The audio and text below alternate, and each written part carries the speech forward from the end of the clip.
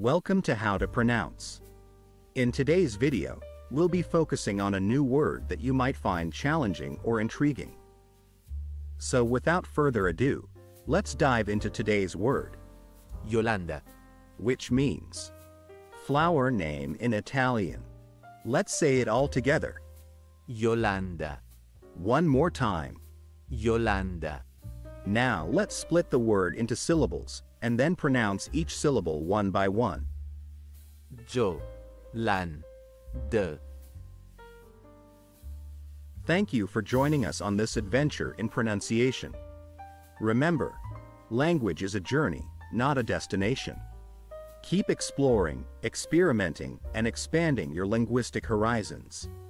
We'll see you next time.